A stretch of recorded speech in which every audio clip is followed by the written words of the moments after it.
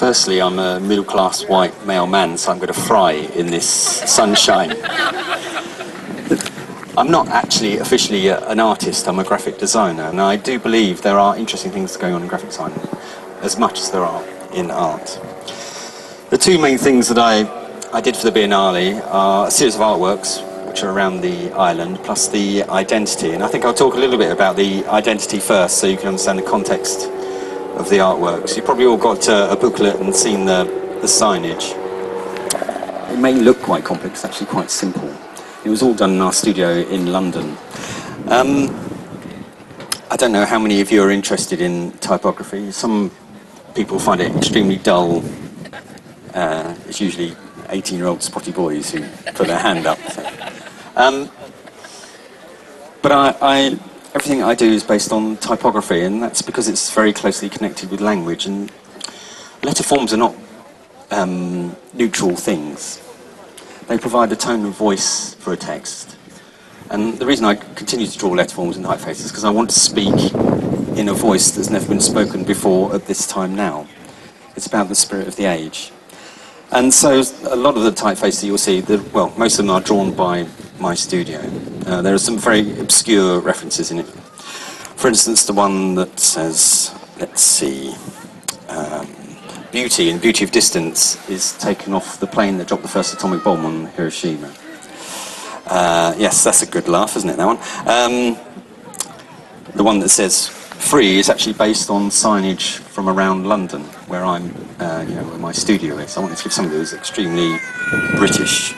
I mean, one of the curses of being a designer is that you notice detail all the time. So, for instance, uh, when I was watching a TV program the other day, they're holding up scorecards and they're holding up their number eight upside down, and it made me absolutely furious. And I was probably the only person in the whole world that would notice it, but uh, and when you watch a World War II film, they have Helvetica in, and you know it's designed in the 1950s, so it wouldn't be in there on a door sign.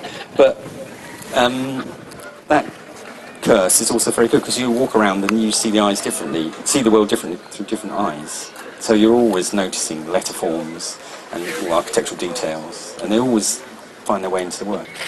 So typography is really is a vehicle um, of ideolo ideological expression as much as anything else. Um, so that's why it interests me. And as a designer, you can take the photograph, you can control the layout, but to draw the, the letter forms is the final piece in the jigsaw. The actual nature of the design is quite closely based on some of the graphics that we used for the folk recordings by Harry Smith.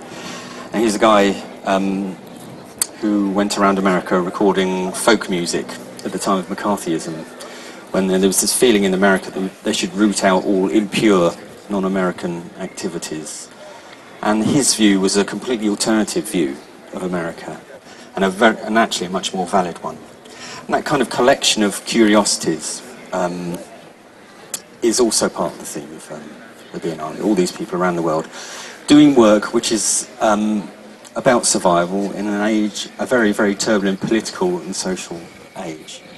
Um, so that is the reason for this kind of uh, jumbled together, for want of a better phrase, uh, design.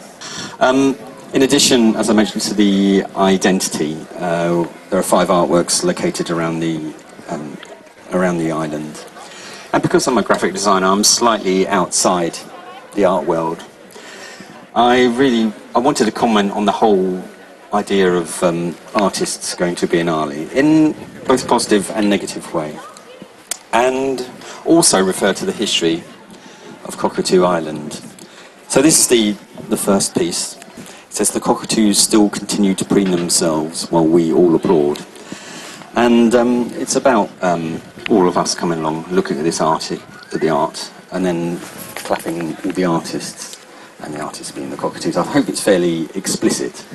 Um, it's about the, the grim um, process of coming to an exhibition, traipsing around for hours and hours, and thinking, why are you doing it? And then suddenly you have a moment of inspiration, a work connects with you, and it makes all of that terrible, terrible journey worthwhile. And over by one of the tunnels there, there's a direct reference to the history of Cockatoo Island. Because I, I work in sort of the anti-advertising area, I'm actually quite familiar with the tools of advertising, so the phrases are like advertising slogans. Um, I mean, I you rewrite something like this 20 or 30 times, even though it's one simple phrase, because you want to um, say something quite intense, but you have to say it in a short attention span kind of way. And actually, I write quite a lot on Twitter, design principles, because you have to say something in 140 characters, and that takes quite a long time. But that editing is really good, actually. I mean, we, we're very careful, actually, who we work with. Um, we have worked with multinationals, but because we work with anti-advertising groups, you can't go off and work for Coca-Cola and that kind of thing. So um, it tends to be cultural institutions and our own work. Um, I mean, other commercial projects, we, um, we did the past two David Bowie albums. and we worked, used to work with Damien Hirst quite a lot, but um, that's, the relationship between an artist and graphic designer is quite a tense one, especially if you feel you're doing culturally valid work and you're actually trampled on by an artist, which often happens because they think they know how to do everything better. And actually, there are some artists who do, but there are some artists who are better off leaving it to graphic designers, you know, to enhance their work. So. What was he like? Drunk? I don't know. What he... um, actually, he's of all the artists I work with, he's one of the best because you know he doesn't do his own work. Uh, he gets someone else to execute it, and uh, he understood what graphic designer did. Uh, there is another artist whose name I won't mention because it's been recorded, but resigned after three days working on the project because she was such a nightmare. Uh, and her tent. Not that I'm mentioning any names and her blankets and that kind of thing. And um, uh, she just couldn't let us do our stuff. So. And actually, working with a lot of um, artists, they did, do seem to be a lot more commercial than us. So there is there is this. this talk's going wrong. There's this, this inverted snobbery with artists. They think the graphic designers are commercial beings and that's it. And actually, they are very happy to receive commissions. And some artists work for. We actually work with one in particular who. Um, we were asked to do an Absolut Vodka advert and we turned it down because we don't endorse products. But they came to us to do their Absolut Vodka advert so. I mean part of the problem with many graphic designers many artists they when they look at design they define the, the function of it so narrowly and there is a cultural function to design. And there's an improvement of society function to design and there's a beautifying function to design which are all over and above any commercial notion of what piece of graphic design would do and they are just as important I think any advice? Uh, well, there's so much advice. I mean, I can give, but um, the thing is, don't be scared by a lack of experience. It's actually a very good thing if you're talking about new designers, you know, because um, the fact that you don't know how to do things is actually very positive because it'll make you uh, produce brilliant work in a way.